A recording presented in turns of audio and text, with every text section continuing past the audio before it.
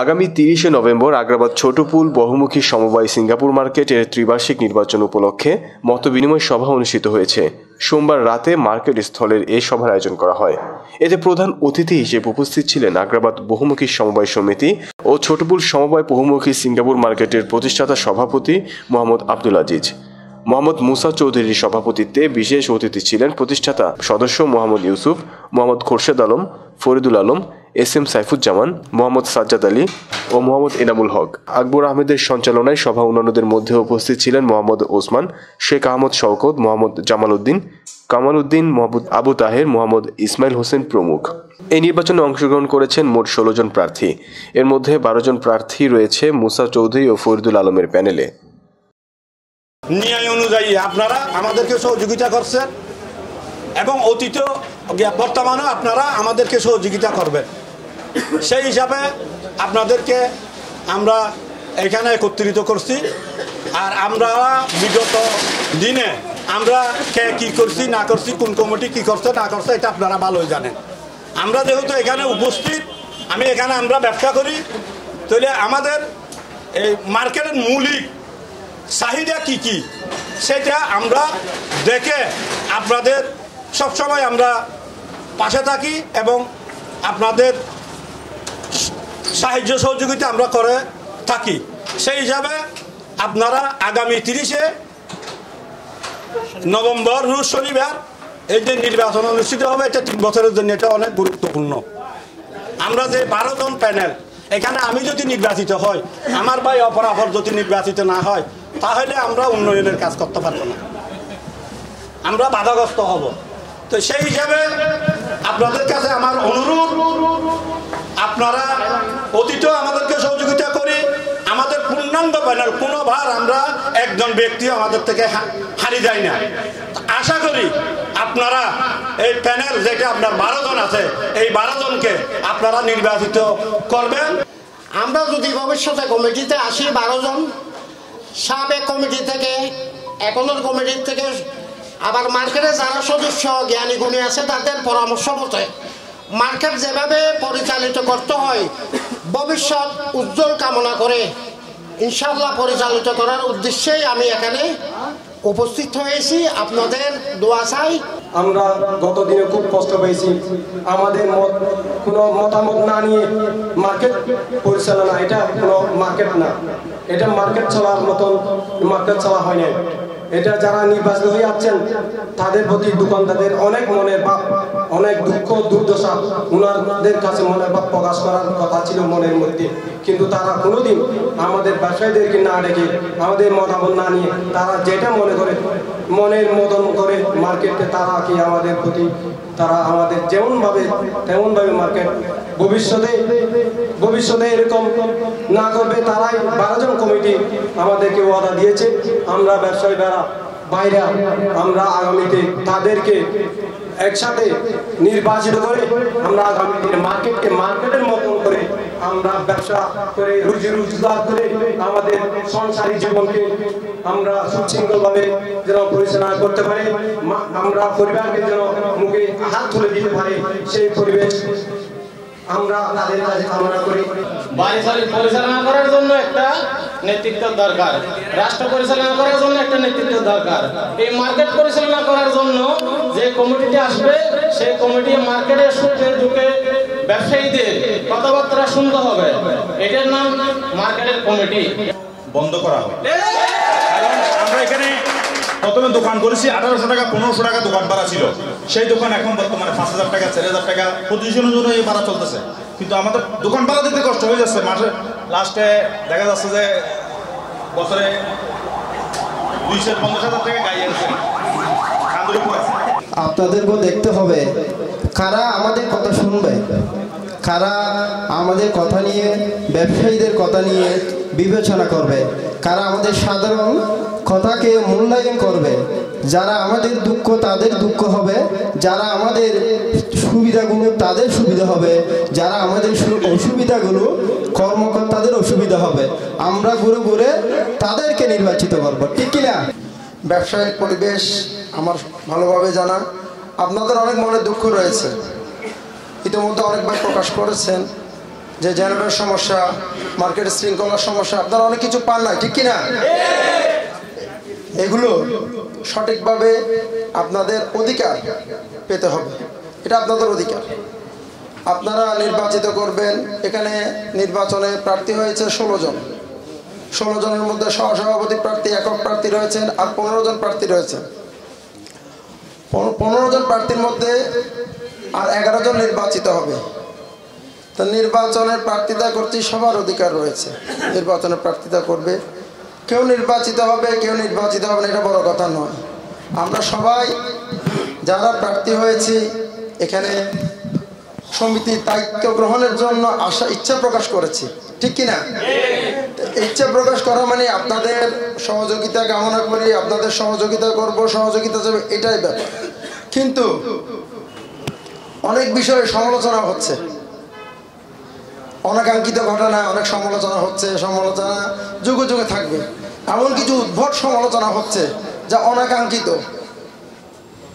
আমাদের কেন আসছে? বেশিরভাগ সদস্য আমাদের পরিচিত রয়েছেন। যেহেতু প্রতিষ্ঠাতা কমিটিতে ছিলাম, অনেক সদস্য বিভিন্ন বাজে সমালোচনা করতেছে, যা এই সমিতির সংশ্লিষ্টতা নেই। ঠিক যেমন আপনাদের একটা ইতিহাস বলি। আপনারা, আমরা বিশ, পঁচিশ বছর আগে একটা সমালোচনা হয়েছে মৌলানা দেলা হোসেন সাইদিন নামে। ওনার মেয়ে আমেরিকায় নাচে। অনেকে জানেন জানেন কি না অনেকে জানেন। কিন্তু পরে ওনার বক্তব্য শুনতে ওনার কোনো মেয়েই নেই। আমি বিশেষ করে অনুরোধ করব, যারা ভুল করে করেছেন, আল্লাহ তাদের মাফ করুক। আর যেসব কুলাঙ্গার জেনে শুনে এসব কথা বলেন, তাদের সম্বন্ধে আপনারা সজাগ থাকবেন। এখানে আমার অনেক ভাই শুধু আমাকে নির্বাচিত করবেন তাই নয়, আমরা বারো জন একসাথে প্রার্থিতা করছি। আমরা আশা করি আমরা বারো জনে নির্বাচিত হব, আপনারা আমাদেরকে নির্বাচিত করবেন। এটাই প্রত্যাশা করি আপনাদের কাছে। ইনশাল্লাহ আপনাদের, বিশেষ করে জেনারেলের সমস্যা মার্কেটের শৃঙ্খলার সমস্যা, আপনাদের কথা না শোনার সমস্যা, এগুলোর সমাধানে সর্বদা সচেষ্ট থাকব ইনশাআল্লাহ।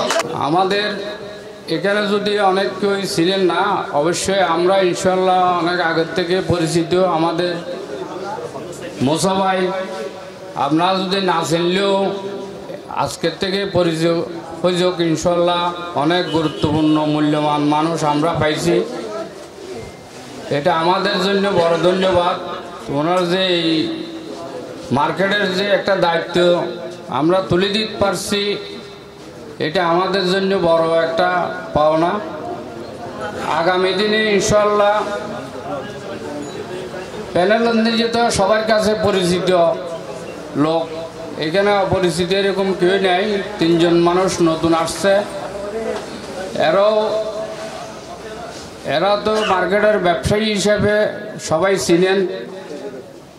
এদেরকেও আপনারা কেয়ার রাখবেন। ইনশাল্লাহ আগামী দিনে এই প্যানেল জয়যুক্ত করার জন্য আপনাদের কাছে আমাদের অনুরোধ। আমরা যারা ভোটার, অত্র মার্কেটের যারা ব্যবসায়ী, আমাদের সকলের। কারণ এটার সুবিধা এবং অসুবিধা দুইটাই ভোগ করব আমরা। আমরা যারা এই মার্কেটে বসবাস করি, এটা দুইটা দিক আছে। একটা হলো আমার ভুল সিদ্ধান্তের জন্য ক্ষতি হলে সেটাও আমি বুক করব। আমার সুসিদ্ধান্তের জন্য লাভ হলে সেটাও আমি বুক করব। একটা জিনিস, এটা ব্যবসার পরিবেশ। একটা যদি আপনি রাস্তার মধ্যে যদি একটা গাড়ি ফেলে রাখেন, একটা মোটরসাইকেলে যদি ফেলে রাখেন, সেটার যদি সঠিক যদি পাহারাদার না থাকে, আপনি কি ওইটাও থাকবে না। সুতরাং এটা একটা বিশাল মার্কেট। এটা আমাদের এই সম্পদ। তিল তিল করে আমরা এক পয়সা, দুই পয়সা দিয়ে এই প্রতিষ্ঠান করা হয়েছে এটা যারা আমরা এখানে ব্যবসা করি এবং যারা করে না আমরা সকলের এই সম্পদ, আমরা যারা ব্যবসা করি, তাদের সম্পদ আমি মনে করি অধিক গুরুত্ব। কারণ আমরা এখানে ব্যবসা করি, ব্যবসার পরিবেশটা যদি ব্যবসায়ী বান্ধব না হয়, তাহলে দিন দিন আমরা কি হব? আমরা অধপতনের দিকে চলে যাব।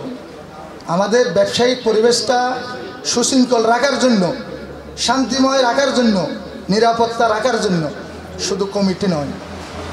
শুধু কমিটি নয়, কমিটি হলো পাহারাদার। এই পাহারাদারদেরকে সহযোগিতা করার দায়িত্ব হলো এই মার্কেটে যারা বসবাস করে সকলেরই। সকলেই যদি সহযোগিতা না করেন একটা সুদূর প্রসারী বেনিফিট আমাদের জন্য আসবে না। যারা ব্যবসায়ী আছে, আমাদের আগ্রাবাদ সমবায় সমিতির এখানে তেত্রিশ জন বা ছত্রিশ জন বা চল্লিশ জন এর ঊর্ধ্বে নাই। তাহলে বাকিরা ব্যবসায়ী। আমি তাদেরকে ব্যবসায়ী বলি বাড়াডিয়া বলি না। কারণ তারা ব্যবসার কারণে যায় এই মার্কেটটা উজ্জ্বল হয়েছে তারা এই মার্কেটটা উজ্জ্বল হয়েছে যদি আমাদের এই ব্যবসায়ীরা না, যেমন আমার একটা সাইনা ওষুধ থেকে কক্সবাজার, বিদেশি লোকের কাছে এই মার্কেট বিক্রি করার কারণে চালু করতে পারছি না, কারণ ব্যবসায়ী না হওয়ার কারণে।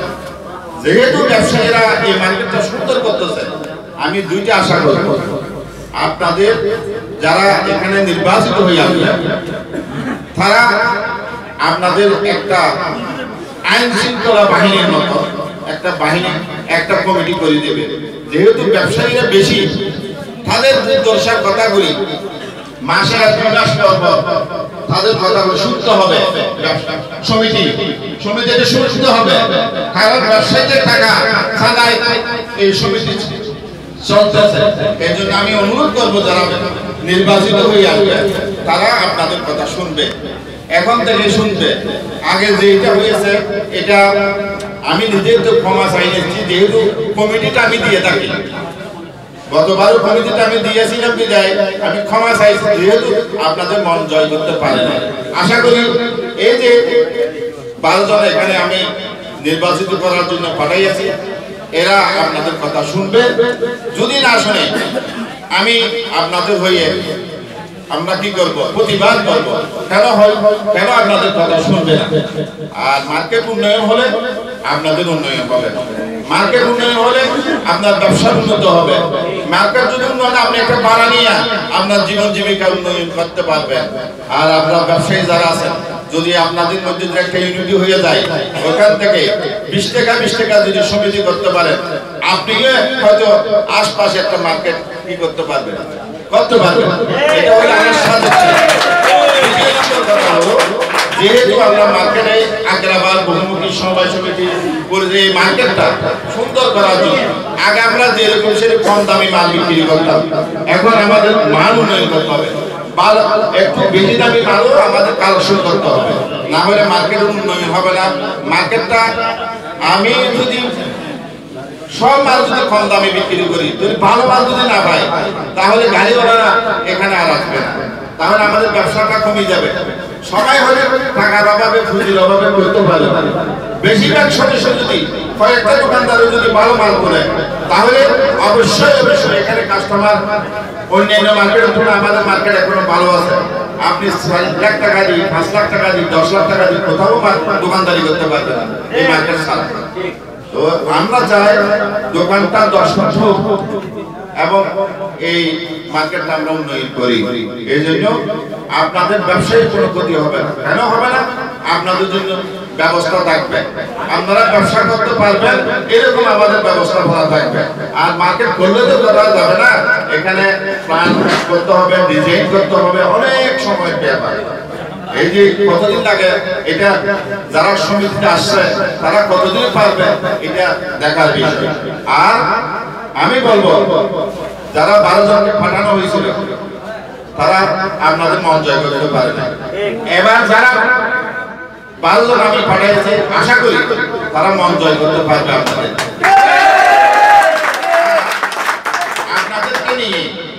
বসি মত বিনিময় করি যে সাজ বিশ্বাস আইন শৃঙ্খলা মার্কেট উন্নয়ন মিলাদুল নবী বিদ্রোহ এগুলি পরিচালনা করবে। যেহেতু টাকাটা আপনাদের কাছ থেকে এই জন্য এই যে উন্নয়ন কমিটি সব আপনাদের, এই যে সম্পৃক্ত থাকতে হবে।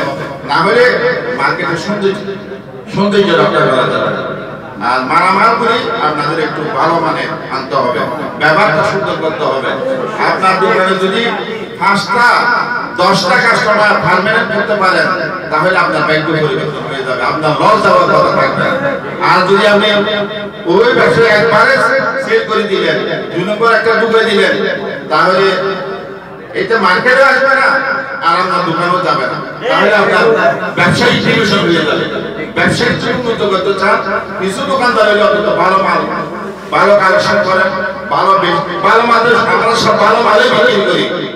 কিন্তু বেশি দামে কিছু মাল আমাদের কালেকশন করতে হবে।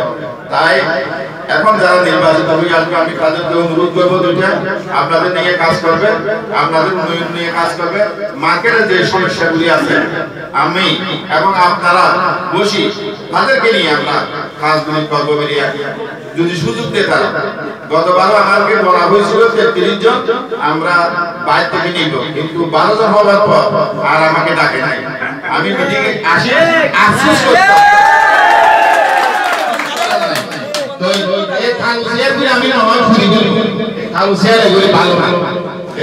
এগুলি তারা মত যেন পরিবর্তন